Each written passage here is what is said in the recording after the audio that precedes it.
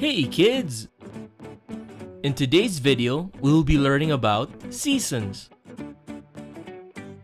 Are you ready? Let's begin!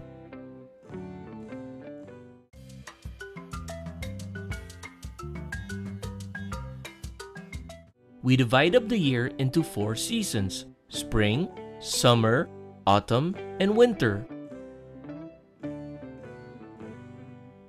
Each season lasts 3 months with summer being the warmest season, winter being the coldest, and spring and autumn lying in between.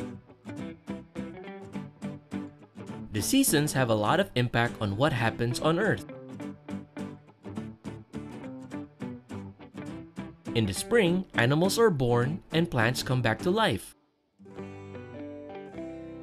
Summer is hot and is when kids are usually out of school and we take vacations to the beach.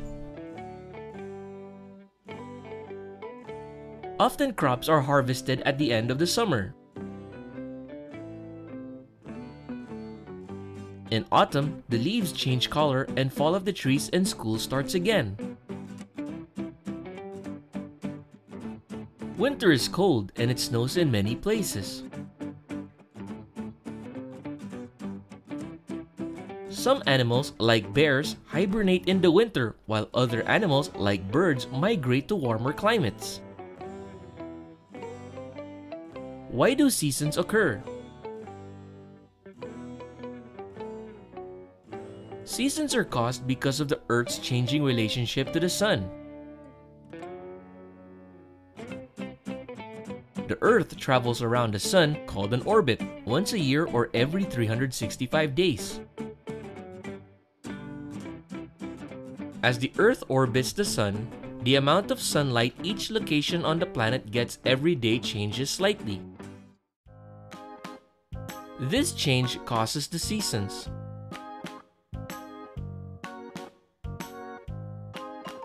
Did you know that the Earth is tilted? Not only does the Earth revolve around the Sun every year, but the Earth rotates on its axis every 24 hours.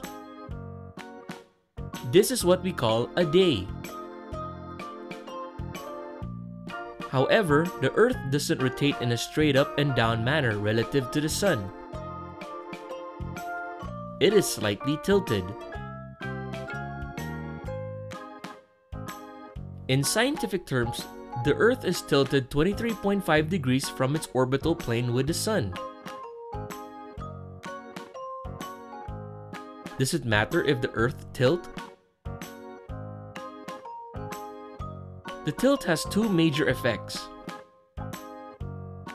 The angle of the sun to the earth and length of the days. For half of the year, the earth is tilted such that the north pole is more pointed towards the sun. For the other half, the south pole is pointed at the sun. With longer days, the northern hemisphere heats up and gets summer. As the year progresses, the Earth's tilt changes to where the North Pole is pointing away from the Sun producing winter. For this reason, seasons north of the equator are the opposite of seasons south of the equator. When it's winter in Europe and the United States, it will be summer in Brazil and Australia. We talked about the length of the day changing, but the angle of the sun changes as well.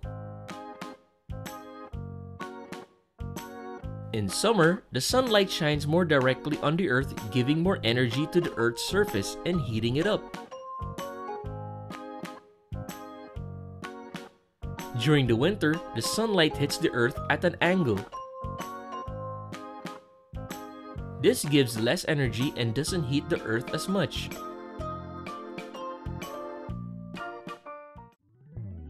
And that is all for today's video. I hope you enjoyed learning about seasons today. Take care now. Bye-bye.